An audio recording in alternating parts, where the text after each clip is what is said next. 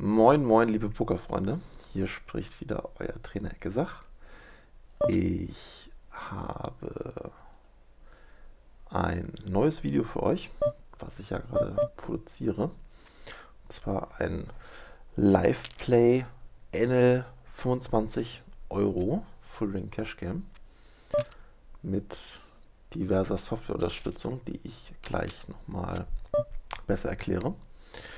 Erstmal die Hand hier, Kings, ähm, äh, Open Race aus früher Position, Conti-Bet gemacht. Die 2 ist eine super Karte für mich, um weiter zu ähm, Conti-Betten äh, for Value und Protection. Ähm, warum ist die 2 eine gute Karte? Na klar, die 2 ähm, wird dem Gegner selten helfen. Sie äh, reduziert die Handkombination von Sets in der gegnerischen Range. Das sind ja die nervigen Karten für mich. Die zwei counterfeited eine 10-8 zum Beispiel, die der Gegner haben kann für einen Two-Pair. Und ähm, ja, kein Draw ist angekommen. Perfekt für mich eigentlich, um weiter irgendwie zu barreln. Gut. Ja, es ist NL25 und ihr seht die Anzeige in Big Blind benutze seit ein paar Wochen den Stars Helper. Und das ist ein Zusatzprogramm, was mir wertvolle Dienste geleistet hat bisher. Und zwar ähm, brauche ich den Table Ninja gar nicht mehr für Cash Game, sondern nur noch den Stars Helper. Und ähm, eine witzige Sache ist halt, dass er die ähm, Geldbeträge in Big Blind umwandeln kann. Das heißt, da ich ja auch auf verschiedene Limits spiele, sowohl Full Ring als auch PLO, ähm, ist es für mich natürlich ganz cool, ähm, dass ich mich gerade in einer Session mit verschiedenen Limits, wo ich äh, Tables selecte, ähm, dass ich mich dann nicht an die verschiedenen Bet Sizes und Limits ähm, ja, äh, gewöhnen muss, sondern ich stelle es einfach so ein, dass er mir immer die Big Blinds anzeigt und dann habe ich immer äh, diese 100 Big Blinds und ähm, die Bet- und Race-Größen auch jeweils in Big Blind und das ist einfach super ähm, ja, äh, vereinfachend für mich. Äh, sehr netter Effekt. Dann blendet es die jeweiligen Positionen ein, hier. Die Images habe ich jetzt weggenommen, da achte ich eh nicht drauf. Ähm, was für mich ganz interessant ist ähm, zu sehen, gerade wenn ich Full Ring spiele und einige Spieler auf Sit-Out sind oder einige Spieler den Tisch verlassen haben, ähm, wo ich tatsächlich sitze. Das kann man beim Multitable manchmal gar nicht so genau feststellen. Man sehr viele Tische auf hat und äh, man wähnt sich irgendwie Mittelposition, aber tatsächlich ist man schon im Cut-Off, weil da ein Spieler weg ist und da einer auf Sit-Out ist. Und dementsprechend ist es ganz angenehm, diese optische Unterstützung noch zu haben, dass einem die tatsächliche Position, wo man sitzt, eingeblendet wird. Dann macht das Programm noch, dass die Bet oder Race Sizes Preflop automatisch eingestellt sind. Das heißt also wirklich von jeder Position, ich habe gesagt, OTG möchte ich die und die Race Size haben, äh, MP möchte ich die und die Race Size haben, Cutoff, andere Button möchte ich min raisen und das hat das Programm tatsächlich für jede Position gespeichert. Und da muss ich dann bloß noch auf den jeweiligen äh, Race-Button drücken und habe dadurch eine Zeitersparnis, die ganz nett ist. So 8.10 werde ich hier isolieren. Spiel hat gelimmt, ich habe noch keine Informationen über ihn. Ähm, 8.10 suited ist durchaus eine spielbare Hand, die man auch für so einen ISO Race verwenden kann. 3.5 mit einem super losen Spieler auf dem Button werde ich sein lassen und hier werde ich den sehr tighten Spieler nach 30 Händen mal angreifen. Und auf dem Board werde ich zwei Barrels abfeuern. Ich denke, dass er mich häufig mit Overcuts floaten wird.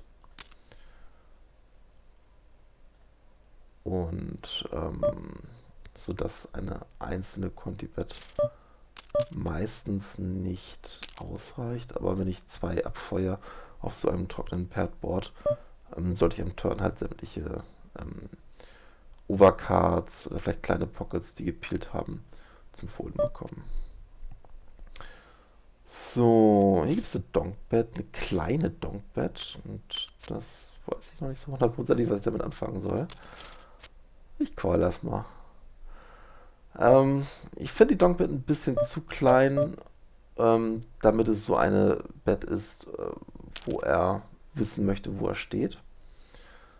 Ähm, es könnte ein Inducer-Bed sein und äh, ja, das Problem an diesen Inducer-Beds ist tatsächlich, dass ich ähm, nicht unbedingt davon ausgehen kann, dass der Gegner ähm, foldet, wenn ich raise. Das Ass werde ich jetzt mal als Scarecard benutzen, versuchen ihn runter zu bekommen. Ja, okay.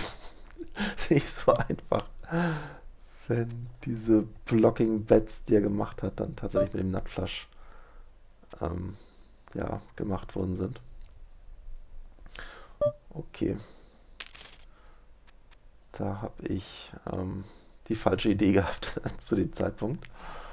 Okay, ganz interessant zu sehen, dass der Spieler Flop Turn River, Small Blocking Bets uh, with not flush draw und paired board Heads up macht.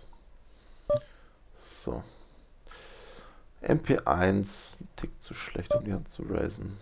Das ist jetzt kein riesengroßer Fehler, aber King Queen Offsuit, ähm, wenn ich mir so sehe, dass da ein Loser-Spieler ist, da ein aktiver Spieler, der vielleicht häufiger drei bettet, ähm, dann macht es für mich keinen großen Sinn. Hier könnte ich squeezen. Auch nach der Hand, die ich eben gezeigt habe mit dem Bluff. Hm, weiß nicht, ob der Squeeze jetzt so prickelnd ist. Der Spieler scheint nicht so sehr gewillt zu sein, zu folden. Könnte ich Donk betten.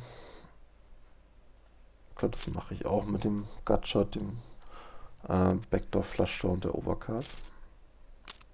Das ist ein Low ähm, Rainbow Board, was ähm, ähm, die Ranges der Gegner häufig verfehlt haben kann. Und ähm, wenn ich das da schaffe, halt mit der mit den Pot mitzunehmen, ist natürlich ein super Ergebnis. So, den wollte ich aber nicht gelb markieren, sondern noch weiß ich nicht, was für ein Spielertyp sich dahinter verbirgt. Ja, was kann das Programm noch? Ich war noch nicht ganz fertig mit den Ausführungen. Ähm, es zeigt mir hier in diesem Pot-Odds-Feld die ähm, direkten Pot-Odds an, wenn ich am Zug bin.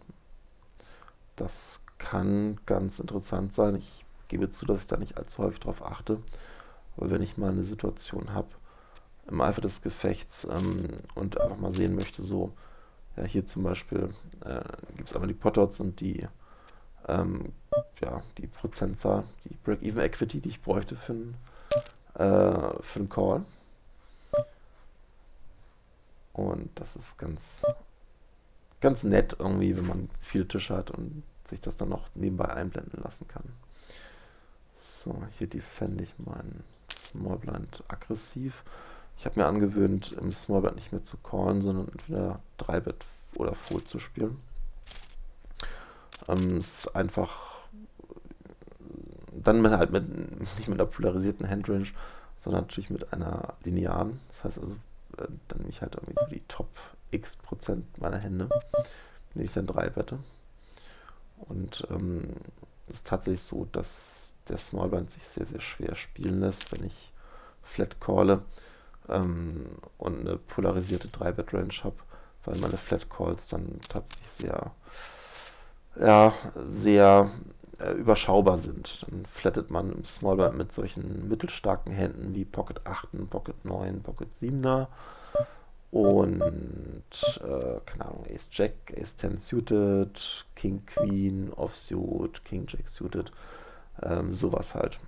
Und ähm, das möchte ich halt nicht, dass meine ähm, dass meine 3-Betting Range aus dem Smallband polarisiert ist weil ich dann tatsächlich Probleme bekommen kann, irgendwie auf äh, Postflop ähm, wenn meine Handrange zu schwach ist. Und dass ich dann halt eine sehr überschaubare Flatting Range habe, die dann vom Big Blind angegriffen werden kann durch Squeezes. Und ähm, die capped ist. Das heißt, ich habe dann keine Asse, keine Könige, keine Damen und so weiter drin. Und das kann mit Postlock doch äh, Probleme bereiten. So, gibt es eine kleine 3-Bit und einen Call. Ich denke, das, das ist eine Podots-Geschichte. Jetzt gehen die Tische hier irgendwie kaputt. Das ist ja nicht so schön.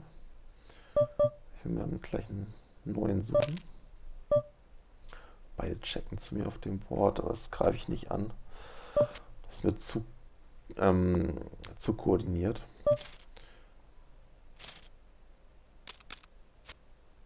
Und ähm, ich weiß noch nicht hundertprozentig genau, was diese Min 3 wird war. Vielleicht war es ein Missklick, vielleicht. Ah, ich weiß es wirklich nicht. Aber tatsächlich ist das Board zu koordiniert.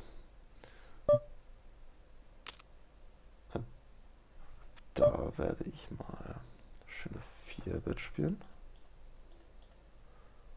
Wieder so eine kleine 3-Bit.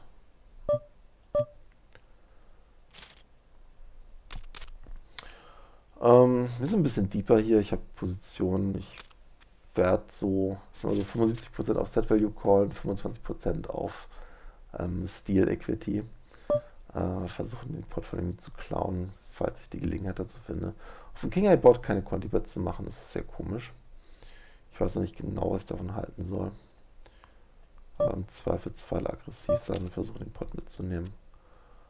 Ist, ähm, glaube ich, okay. Top-Pair, Top-Kicker in so einem ähm, 4-Bet-Pot gegen Gegner, der sonst ja, keine Informationen mehr bisher gegeben hat. Ähm, ja, schwer von Hand wegzukommen. Ganz ehrlich. Äh, gegen Titan Regular vielleicht irgendwie äh, ist es möglich, hier noch einen Full zu finden, aber ähm, gegen einen Unknown da wandert die Coolheit irgendwie rein. So, machen wir mal einen neuen Tisch auf.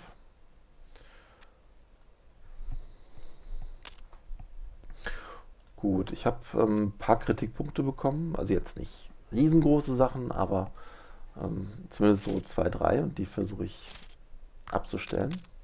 Damit beginne ich in diesem Video. Äh, Kritikpunkt Nummer 1 war an dem äh, Cascade äh, Multitabling-Video, das doch sehr, sehr anstrengend war, da zuzugucken. Was, ja, glaube ich, einigermaßen normal ist für Multitable-Videos. Aber nun gut, ähm, das Cascade irgendwie, da springen die Tische immer hin und her. Kann durchaus passieren, dass ähm, ein anderes Setup dann günstiger ist. Und deswegen habe ich mir gedacht, für heute mal vier Tische, überschaubare Action ähm, viel Zeit zwischen den Händen auch ähm, ins Detail zu gehen, etwas ähm, genauer zu erklären, äh, welche Gedankengänge ich habe und ähm, wie so mein Setup und mein, mein Gameplan so ähm, ausgerichtet sind. Und zum anderen, dass der Ton doch sehr nervig ist. Da hat mir ein User gesagt, äh, ich sollte mal die Beta-Sounds von der PokerStar Software testen. Habe ich gemacht und ähm, das ist tatsächlich so, dass die Geräusche nicht ganz so nervig sind. Die wende ich hier gerade an.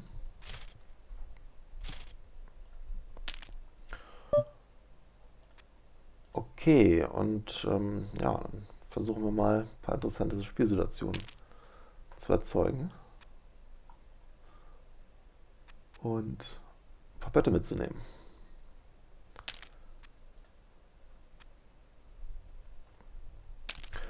Zum HUD nochmal. Das habe ich ein ähm, bisschen umgebaut zu den HUDs aus älteren Videos. Das ist jetzt überschaubarer gemacht. Und äh, glaube, ich werde es gleich donken. Ähm, Ähm, die Trips mit dem schlechten Kicker sind da mehr oder weniger die Nuts in der Situation. Und ähm, ich möchte natürlich auch einen Pot aufbauen mit der Hand. Und deswegen entscheide ich mich für die Donkbet, ähm, gerade wenn der Gegner doch eher äh, dazu neigt, ähm, an Pötten zu kleben. Finde ich sinnvoller, denn er checkt meistens behind auf so einem Board und dann verpasse ich eine Street for Value. Und wenn er mich da mit irgendwelchen Overcards, kleinen Pockets, äh, Overpairs, die er slow geplayt hat, Preflop, dann äh, called und ist halt der Pot am Turn schon ein bisschen größer und ähm, ich laufe natürlich immer Gefahr, dass ich meine Kundschaft verliere. Ähm, das ist gegen einen etwas passiveren Spieler aber nicht so dramatisch, denn äh, wenn ich da gecheckt hätte, dann kann es durchaus sein, dass er auch einfach äh, behind checkt und dann die nächste Straße foldet, wenn ich äh, dann anfange, Value zu holen. Ass 7, UTG plus 1 ist mir ein Tick zu schlecht. Das kommt weg. Für ein ISO Race ist damit 2 auch eine sehr unglückliche, hässliche Hand. Bräuchte eine Hand, die etwas koordinierter ist. So, das sind nicht die Stats von dem Spieler. Und ich würde hier einfach mal einen Crowbar auspacken. Jeder füllt den Smallblind Plus auf.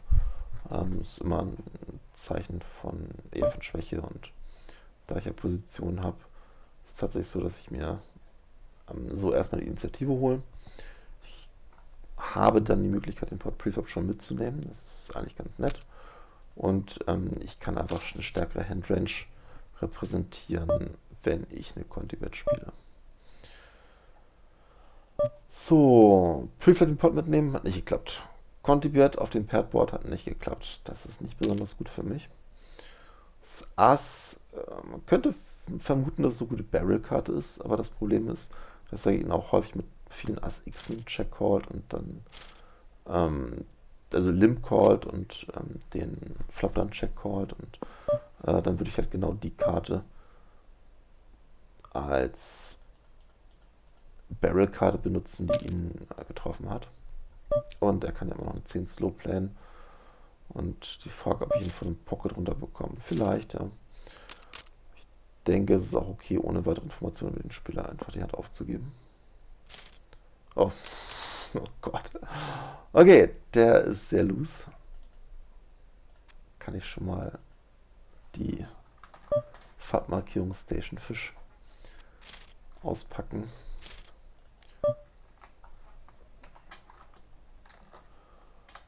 Is blind with Bube 6 Osio check call on the flop.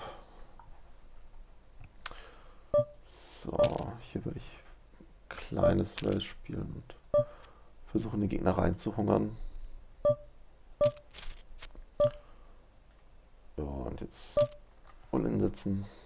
Hoffen, dass der Gegner kein Set hat, was er slow geplayt hat. Und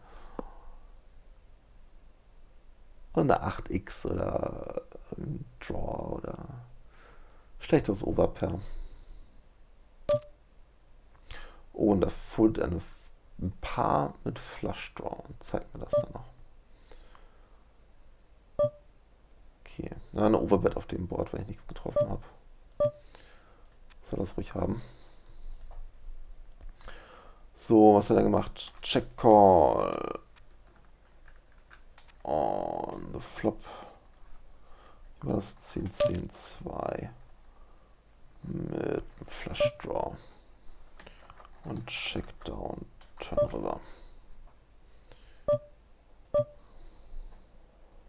Ja, mit dem möchte ich natürlich Hände spielen.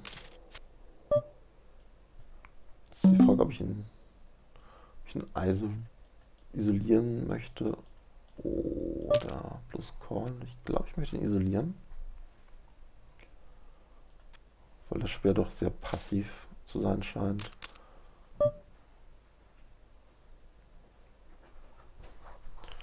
Und ich mir nicht allzu viele richtige Trouble Spots dadurch ähm, ausmalen kann, die ich reinkomme, wenn er relativ ehrlich spielen wird post-Flop. Ja, ich glaube natürlich super mit dem Paar und dem Nut Flush Draw. Ähm, ja, die Kohle wandert rein am Flop. Egal, was die Jungs hier machen. Interessant wird, wenn er bloß Check callt, wie ich dann weiter agieren soll. Denn ich glaube nicht, dass ich viel Full Equity habe auf späteren Straßen. Das heißt also, hier habe ich die Option, einfach weiter zu ballern. Ähm, oder mir eine Free Cut zu nehmen und offen zu improven. Ich habe Showdown Value gegen ihn.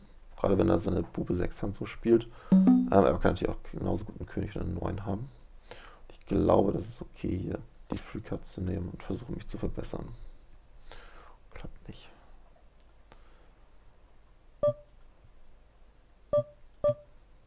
Ja, den einen muss ich callen. Mal gucken, was... Oh, huiuiui. Hat er Asse gehabt. Okay, der ist jetzt sehr unberechenbar.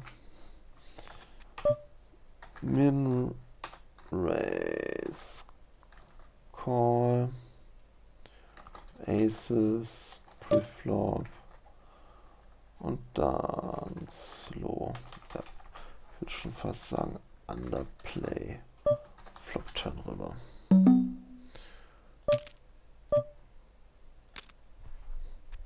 bei so einem Spieler ist es natürlich wichtig, dass man sich viele Players Notes macht. Die könnten echt ähm, Gold wert sein. Denn auf, wenn ein Spieler unberechenbar ist, dann wird man aus seinen Stats nicht besonders schlau werden und auch nicht viel rauslesen können. Ah, hm. Ich glaube, es ist okay, hier eine Conti-Bet zu spielen. Den Overcards und dem äh, Backdoor Flush Draw. Ich kann den Spieler überhaupt nicht einschätzen, ob der fähig ist, den Fold-Button zu finden. Schein schafft das ja doch. Trockenes King High Board, ideal für eine Conti-Bet. Und Superkarte zum Baron. Equity aufgegabelt, Scare Card. Das ist eine sehr technisch simple Hand gewesen.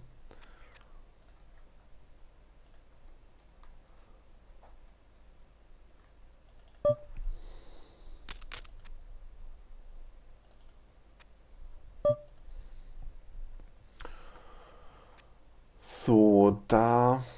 Das ist jetzt nicht UTG, das ist jetzt äh, so, dass wir so short sind, dass plötzlich die Sixpacks-Tisch ähm, äh, Bezeichnung oder die Sixpacks Platzbezeichnung eingeblendet werden. Ähm, das ist nicht so dramatisch, dann äh, Sixpacks kann ich Ace Jack Offsuit durchaus raisen. Hier mit den Fives kann ich mitlimpen, kann ihn versuchen zu isolieren. Ah, wenn ich jetzt wüsste, was das beste Play ist, kann den Spieler noch nicht einordnen ähm, in Station Fish oder Fit of Fold Fish. Das weiß noch nicht hundertprozentig. Und im Zweifelsfall werde ich ihn dann isolieren mit meiner Hand. Wenn der callt, kann ich eventuell mit den Fives hier auf Set Value callen, es sehr dünn ist. Hm. Ah, ich werde es einfach mal riskieren. Was soll schon passieren? Außer, dass der Gegner Pocket Aces hat.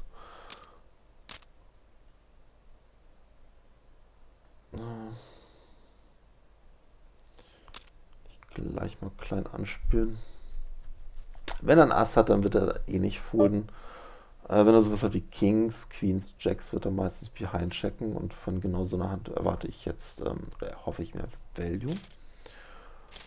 Ähm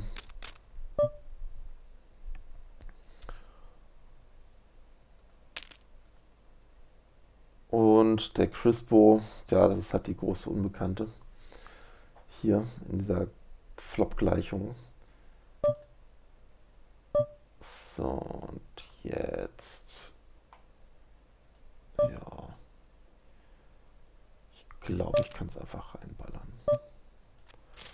Pot ist so groß, ich gehe nicht davon aus, dass man als König oder als Dame hier noch einen Exit findet.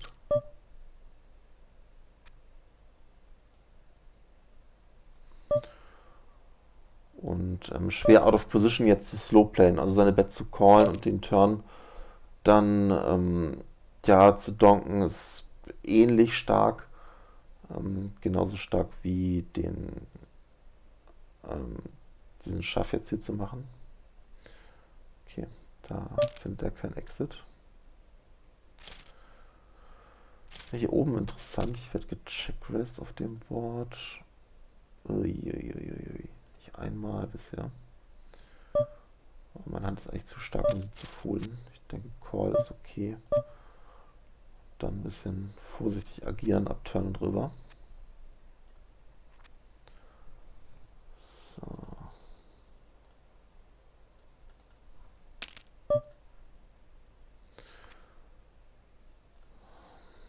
Die 4 ist eine gute Karte für mich, denn die Sets, also die legitimen Value-Check-Raising-Hände, die der Gegner gehabt haben kann, ist jetzt deutlich reduziert auf irgendwie so drei Paar Sechsen und ein, eine Kombination Pocket Force. Overcards können sein, muss nicht sein. Es kann sein, dass hier Random Bluffs oder Flush Draws dabei sind. Ich denke, ich kann mich jetzt ganz gut beschützen mit einer Bet am Turn. Wenn jetzt der doppelte Check Race kommt, dann werde ich meine Hand einfach aufgeben, weil ich nicht davon ausgehe, dass ein 13-10er das als Bluff machen kann. Ähm, Alternative wäre Behind zu checken am Turn. Dann gebe ich sämtlichen Draws und Overcards ähm, äh, eine Free Card und das möchte ich nicht. Und aufgrund der Kombinatorik, ja, es ist sehr unwahrscheinlich gewesen, dass der Gegner dann tatsächlich eine ähm, starke Hand am ähm, Flop gecheckraced hat, aber natürlich nicht unmöglich.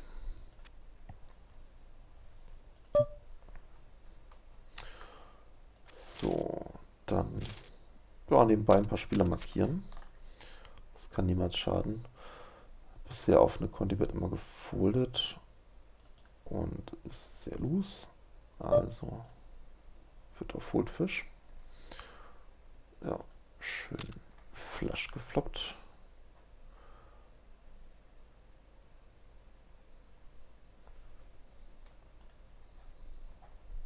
Auch hier 9 High Flush Slow Plane ähm, macht für mich auch nicht viel Sinn. Ähm, der Gegner kann so viele Overpairs Sets, ähm, äh, Ace of Diamond, King of Diamond, Queen of Diamond Hände haben, mit denen er mir Action gibt.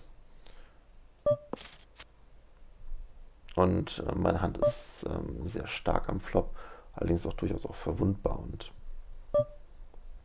äh, da möchte ich einfach Value gleich bekommen, irgendwie keine Free Cuts geben und äh, mich vor Draws beschützen. Was wahrscheinlich nicht so ist, dass ich mich groß vor Draws beschützen kann. Denn die werden höchstwahrscheinlich immer callen. So, was mache ich denn hier? ich nicht aufgepasst. Gut.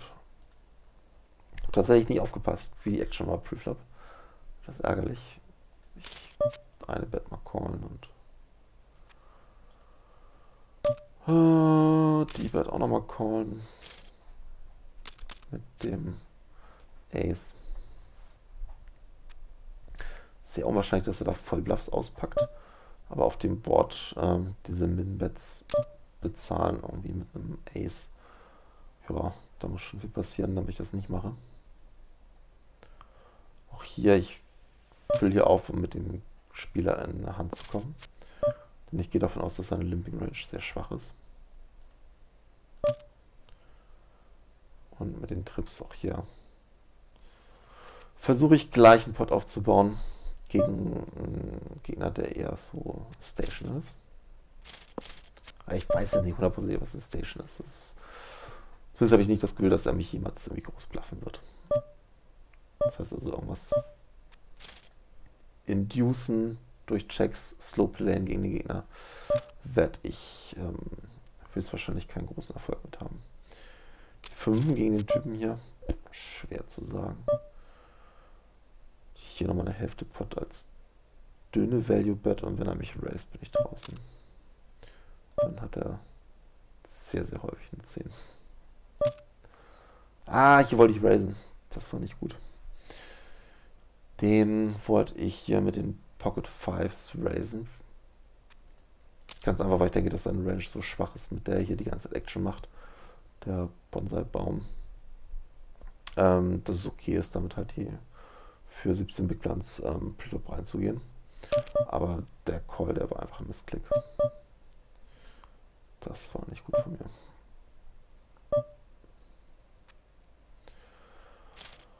Hm. Das gebe ich, glaube ich, auch auf. Top Pair, No Kicker. Gegner raised mich. Keine Information über ihn.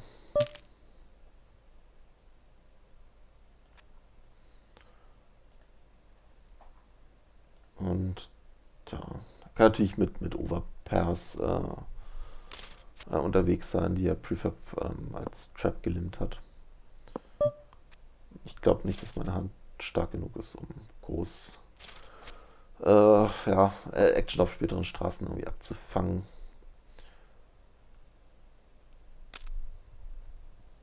Ja, von daher ist okay. Ja, Min-Raises respektiere ich von dem Spieler. Da gehe ich mal lieber aus dem Weg. Muss nicht unbedingt sein, dass er jetzt wieder Asse hat, aber zumindest hat er mir einmal gezeigt, dass er äh, mit einer sehr starken Hand geminrest hat.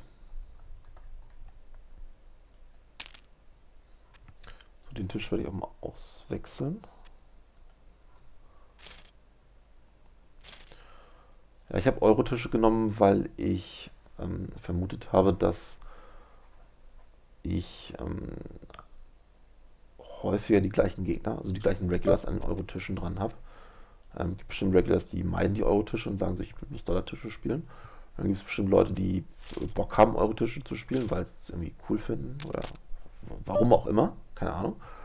Und ähm, dann ist es so, dass ich dann äh, für so ein Video in kürzerer Zeit äh, mehr Informationen von diesen, von den Regulars bekomme, die diese Euro-Tische spielen. Und das ist ganz angenehm. Die Fives in MP1 kann ich open raisen.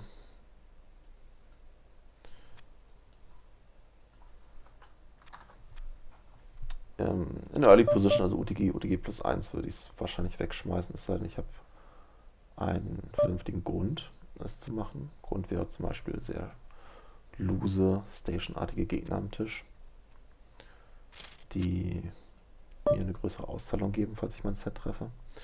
Hier defende ich meinen Big Blind passiv. Macht zwar ein sehr großes Race, der Spieler, aber Jack 10 ist natürlich eine sehr, sehr gute Hand, um in Position ähm, Blind vs. Blind auszuspielen. Top Pair, Medium Kicker, Backdoor Flush Draw. Easy Call am Flop. Und gegen den Full-Spieler eine Conti-Bet raushauen. Und dann durch sein, wenn eine ganz blöde Karte kommt. Flush ist angekommen, Straight ist angekommen. Und der Spieler, den ich eher so als vierter Vollspieler äh, markiert habe, ist immer noch dabei. Also äh, aufgeben. Jetzt kommt noch eine 5 irgendwie am Turn. Und hier pile ich eine weitere Karte mit dem Top her. Und am River gebe ich auf, falls es Action gibt. Das halte ich für einen sinnvollen Plan. Drei Barrels mit einer schlechteren Karte von einem Titan-Spieler kann ich mir am besten nicht besten Willen nicht vorstellen auf NL25 Full Ring. Ähm, Open Ender. Sogar den, den Nut Open Ender. Wenn eine Dame kommt, habe ich halt die Nut Straight. Das ist ziemlich cool. Hier nur.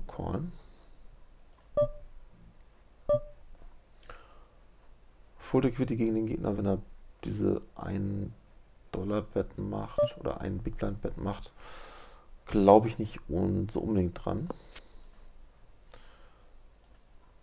Deswegen nehme ich mir hier lieber die Free Card, versuche mein Equity zu realisieren, mich zu improven, aber den Gegner jetzt nicht zu bluffen auf dem Board. Habe ja sogar noch Showdown Potenzial.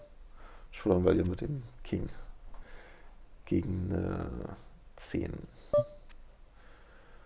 So, was hat er denn hier gemacht? So, auch hier Flop. Blocking Bet with uh, Bear OSD. Also Bear, also ich kann auch schreiben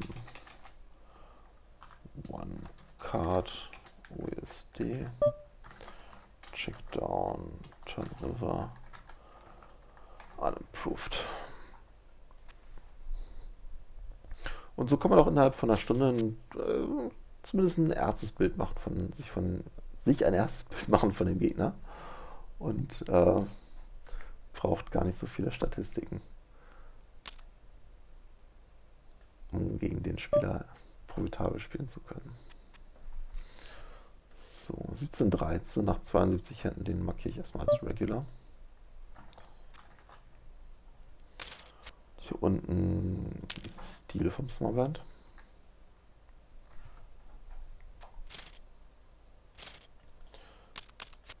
Der wird auch erstmal als Regular bezeichnet und den mal als 3-Bet Heavy. Also gäbe es bei mir Spieler, die ähm, etwas aktiver sind, als es ein normaler, tight aggressiver Spielstil zulässt.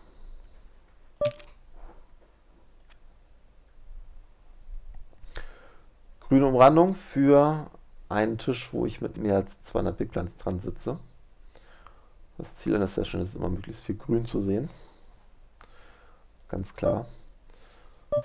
Ähm, für mich immer ganz, ganz günstig, wenn ich auch gerade PLO spiele und äh, ähm, ich dann halt sehe, irgendwie, ja, wo, wo sitze ich deep irgendwie, wo, ähm, wo muss ich meine Hände vielleicht ein bisschen anders spielen, ähm, als ich es bei einem 100 Big Blind Stack machen würde. Dame 7, oh, ISO Race ist okay. Also wenn man ein bisschen nötiger unterwegs ist, kann man es auch wegschmeißen. Aber Vortabling, Video machen, Gegner, der limmt und keinen vollen Stack hat. Ja, da kann man sich schon mal zutrauen, mit der Hand in Position den Limp anzugreifen. Okay, ich sehe, dass gleich 2 Uhr ist und ich die PLO Happy Hour mitnehmen möchte. Das heißt also, ich mache hier mal so langsam Schluss mit dem Video, obwohl es echt Spaß macht, die Tische zu spielen.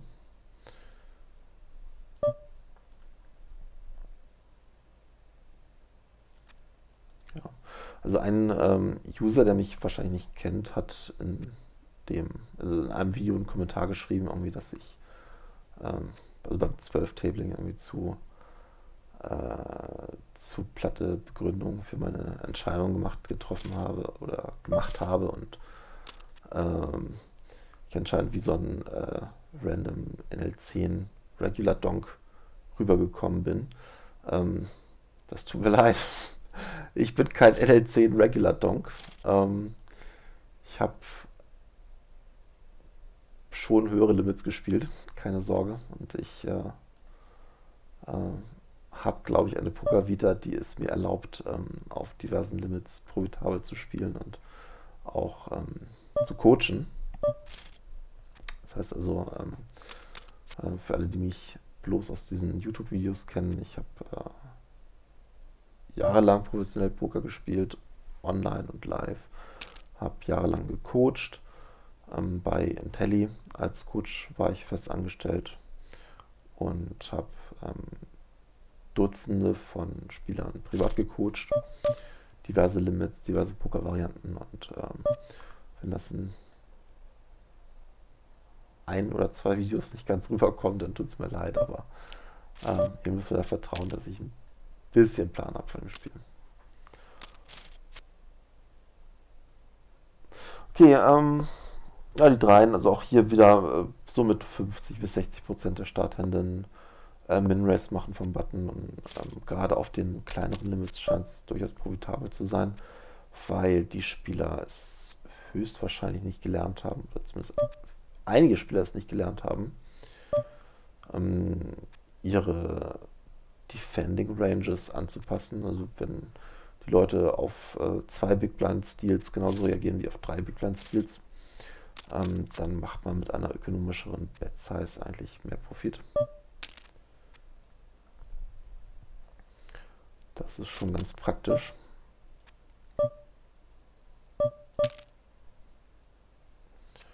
So, dann gehen wir auf Sit Out Next Big Blunt. Und beenden das Video gleich.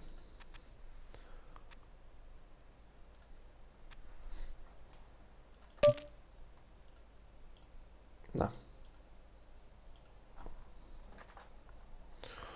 Und das Markieren der Spieler auf diesem Limit ähm, ist für mich auch wichtig, denn es kann gerade so bei Gelegenheitsspielern durchaus mal passieren, dass die sich auf höhere Limits verirren. Und dann ist es schön, eine Farbmarkierung und ähm, vielleicht schon ein, zwei Players Notes zu haben. Ace-Jack aufs jetzt mit zu schwach UTG. Und das ist kein gutes Board für eine Conti-Wett. Der Gegner hat eine Flatting Range Preflop, die hauptsächlich aus mittleren äh, Pockets besteht. Vielleicht so kleine, mittlere Pockets. Kann man vielleicht mal gucken, ob wir dazu. Ja. Ähm, ich habe den äh, Node Caddy so eingerichtet, dass er mir ein paar Ranges anzeigt. Und ähm, auch die Flat Calling Ranges. Das hätte ich vielleicht noch mal erwähnen können. Mal das nächste Video. Im nächsten Video mache ich, mach ich das besser. Ähm, weil das ganz angenehm ist, wenn ich, ich habe ja kaum einen Gegner, von dem ich mal viele Hände habe, von dem vielleicht. Und da zeigt er mir dann auch an, mit welchen Händen er äh, in Position zum Beispiel Cold Called. Und meistens ist es so bei Tags auf dem Limit, ähm, dass sich das um kleine, mittlere Pockets vielleicht paar Pseudo Connectors handelt und ähm, auf so einem 4-5-6 Board ähm, hat er so häufig Sets und Overpairs, dass ich damit als Dame einfach äh, sehr, sehr ungünstiges Board habe, um ja, zu quantibetten. Und dementsprechend ist auch okay auf solchen Boards, die dem Gegner einfach wesentlich besser passen, ähm, die Hand aufzugeben.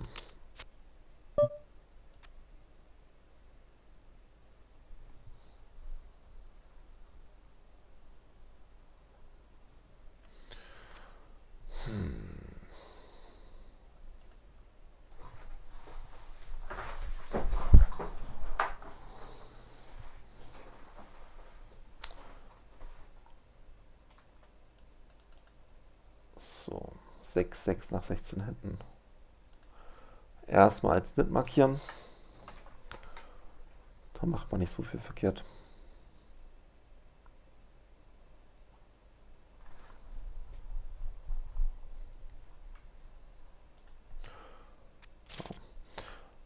Also mit der Session bin ich sehr zufrieden.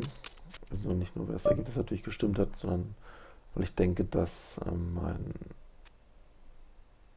Gameplan irgendwie auch ähm, ganz gut gefruchtet hat. Also Min-Raises vom Button machen, Small Blind nur mit 3 Bets defenden, ähm, einfach sich Gedanken machen über die Handranges, ähm, versuchen die äh, Tags und die Nits anzugreifen und ähm, ja, Players Nutz machen von den Targets, von den äh, loose passiven Spielern. Das, also wenn man das hinbekommt in einer Session und merkt irgendwie, äh, das läuft, ähm, dann ist man so einigermaßen im A-Game drin und das ist immer ein schönes Gefühl. Okay, ich hoffe, dass euch das Video weitergeholfen hat und ähm, ja, bis zum nächsten Mal. Das war euer Trainer Eckesach. Macht's gut.